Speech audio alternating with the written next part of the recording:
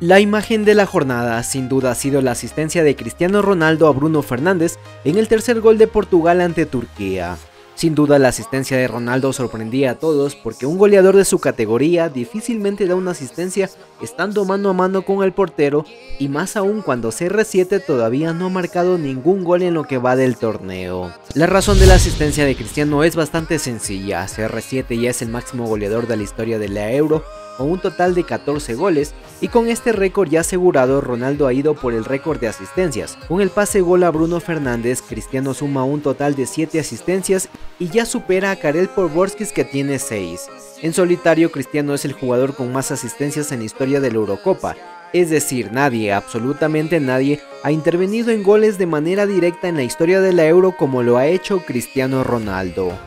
Además de los récords, Ronaldo fue el objetivo en el campo de los aficionados que buscaban sacarse una foto. Uno de ellos fue este niño que logró llegar hacia donde estaba su ídolo y Ronaldo lo recibió de la mejor manera, se dio tiempo de sacarse la foto y esta imagen ya se ha viralizado, sin duda la mejor selfie del niño en toda su vida.